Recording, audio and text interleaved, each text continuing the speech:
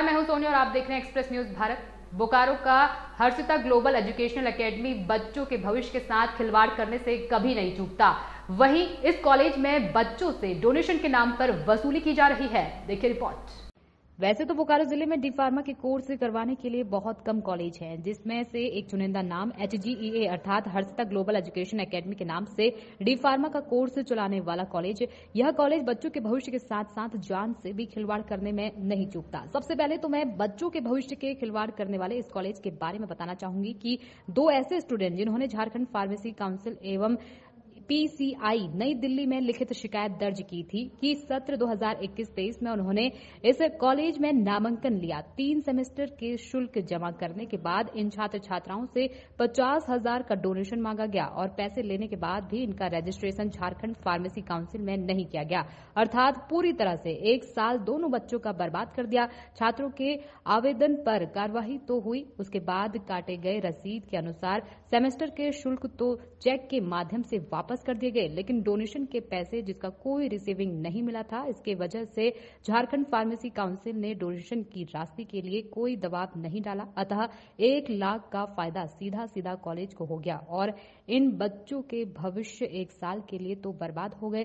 Council के द्वारा सुनवाई और पत्रक तथा कार्यवाही के पत्रक भी सबूत के तौर पर मौजूद हैं। अब दूसरी बात यह है कि यह तो भविष्य के साथ खिलवाड़ करने की बात हुई। अब जान के साथ कैसे खिलवाड़ करता है, यह हम आपको बताएँगे। स्कूल, कॉलेज अथवा हॉस्टल के ऊपर से यदि एक लाख तैतीस हज़ार वोल्ट का हाई टेंशन तार गुजर जाए तो वहाँ पर किसी भी कीमत पर किसी भी स्कूल, कॉलेज अथवा हॉस्टल या कोई भी सामूहिक कार्यक्रम वाले व्यापार चलाने की अनुमति नहीं होती है। और मैं दिखा रही हूँ कि Harshita global education academy college के प्रांगण से होकर एक नहीं दो दो हाई टेंशन तार गुजर रहे हैं, जो कि खतरे की घंटी है।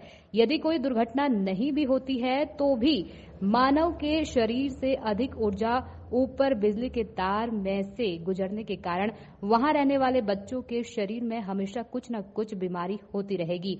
और यदि भूल से किसी कारणवश कोई भी तार टूट जाए तो फिर कॉलेज में आग तो लग ही जाएगी। अगर कोई बच्चा चपेट में आ गया तो निश्चित रूप से उसकी जान चली जाएगी।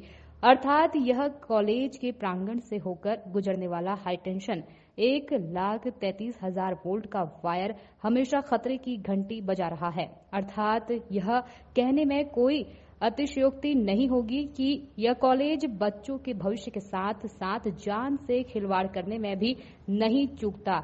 यह कॉलेज के भौगोलिक स्थिति यह है कि बोकारो शहर से लगभग 15 किलोमीटर दूर है। इस कॉलेज में ना ही एंबुलेंस की व्यवस्था है और ना ही कोई हॉस्पिटल। अर्थात अगर रात में कोई बीमार भी पड़े तो छात्र के लिए एकमात्र भगवान का सहारा है, जहाँ पर Harshita global education academy college है। तार तो पहले से ही वहाँ से गुजर रहा हुआ है, लेकिन क्योंकि कॉलेज को 2017 के बाद मान्यता मिली है, जबकि तार बहुत पहले से गुजरा है। फिर भी वहाँ के डायरेक्टर निरंजन सुतार ने कैसे कॉलेज बना लिया, यह सोचने वाली बात है। वैसे तो निरंजन सुतार, जो कि हर्षिता ग्लोबल एजुकेशन के डायरेक्टर, पूरे जिला तथा झारखंड फार्मेसी काउंसिल में अपना पूरा पूरा रसूख रखते हैं, तभी तो हाईटेंशन तार उनके प्रांगण से गुजरने के बाद भी उन्हें मान्यता मिल गई और धड़ल्ले से बच्चों के भविष्य एवं जान के साथ खिलवाड़ करने से भी नहीं चुक रहे हैं।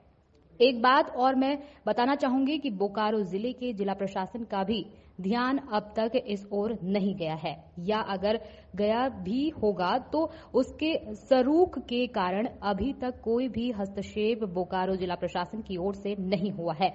तो क्या माना जाए कि बोकारो जिला प्रशासन अथवा झारखंड फार्मेसी काउंसिल या पीसीआई नई दिल्ली किसी दुर्घटना के होने का इंतज़ार कर रही है? ताकि दुर्घटना हो जाए, तब जाकर कार्रवाई करे। मैं सचिनानंद मिश्रा, बोकारो जिला प्रशासन, झारखंड फार्मेसी काउंसिल एवं पीसीआई नई दिल्ली से यह मांग करता हूँ कि यथाशीघ्र इस कॉलेज की मान्यता रद्द की जाए और मान्यता तभी दी जाए जब तक या तो हाईटेंशन तार वहाँ से दूर, दूसरी जगह शिफ्ट कर दिया जाए अथवा कॉलेज को ही दूसरी जगह शिफ्ट किया जाए, क्योंकि किसी भी व्यक्ति को छात्रों के साथ भविष्य एवं जान के साथ खिलवाड़ करने का कोई नमस्कार, कैमरामैन दीपक कुमार के साथ मैं सच्चिदानंद। मिश्रा एक्सप्रेस न्यूज़ भारत के लिए। बोकारो जिला के घटियाली एक क्षेत्र है। वहाँ पर एक डी फार्मा के लिए कॉलेज चल रहा है। कॉलेज का नाम है एच जी ई ए, अर्थात हर्षिता ग्लोबल एजुकेशनल एकेडमी। इस कॉलेज में डी फार्मा की पढ़ाई होती है। यहाँ के डायरेक्टर श्री निरंजन सुतार जी हैं, जो कि काफ़ी रसूख वाले हैं। और यही रसूख के चलते ये बच्चों के भविष्य एवं जान से खिलवाड़ करने से भी नहीं चूकते। उदाहरण के तौर पर मैं दिखाने जा रहा हूँ कि इन्होंने दो बच्चों का रजिस्ट्रेशन 2021-23 के लिए लिया, सेमेस्टर के फ़ी भी लिए और जब दो सेमेस्टर बीतने वाला है, तब इन्होंने अचानक पचास पचास हज़ार रुपया डोनेशन की डिमांड रख दी। और यह कहने लगे कि जब तक आप नहीं देंगे, तब तक आपको हम रजिस्ट्रेशन नहीं करवाएँगे। रसीद कटने के और सेमेस्टर फ़ी देने के बावजूद इन्होंने झारखंड फार्मेसी काउंसिल में बच्चों का रजिस्ट्रेशन नहीं भेजा, जिसका प्रमाण पत्र मैं दिखाने जा रहा हूँ। इसके साथ साथ जब बच्चों ने झारखंड काउंसिल में शिकायत दर्ज की तो काउंसिल में शिकायत तो हुई। और शिकायत दर्ज होने के बाद, बहुत देर के बाद आखिरकार इन्होंने चेक के माध्यम से पैसा लौटा दिया। तो पैसा लौट जाने से बच्चों के जो साल भर के भविष्य बर्बाद होंगे, उसका जिम्मेवार कौन होगा? दूसरी बात मैं यह बताना चाह रहा हूँ पचास पचास हज़ार रुपया दोनों छात्र छात्राएँ जो थे, उन्होंने विदाउट रिसीविंग डोनेशन के रूप में दिया था ताकि मेरा एक साल बच जाए। उसे उन्होंने हजम कर लिया। इस बात की शिकायत भी दोनों ने काउंसिल में की थी। सुनवाई के दौरान प्रमाण नहीं होने के कारण झारखंड काउंसिल फार्मेसी काउंसिल ने रसीद की रकम तो लौटवा दी लेकिन जो डोनेशन के लाख रुपया थे, वो ये जनाब हजम कर गए।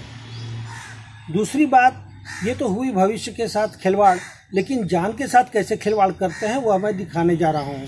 ये देखिए, ये कॉलेज का प्रांगण है। और कॉलेज के प्रांगण से होकर हाई टेंशन अर्थात एक लाख तैतीस हज़ार वोल्ट वाले नमस्कार, मैं हूँ सोनी और आप देख रहे हैं एक्सप्रेस न्यूज़ भारत। बोकारो का हर्षिता ग्लोबल एजुकेशनल एकेडमी बच्चों के भविष्य के साथ खिलवाड़ करने से कभी नहीं चूकता। वहीं इस कॉलेज में बच्चों से डोनेशन के नाम पर वसूली की जा रही है। देखिए रिपोर्ट।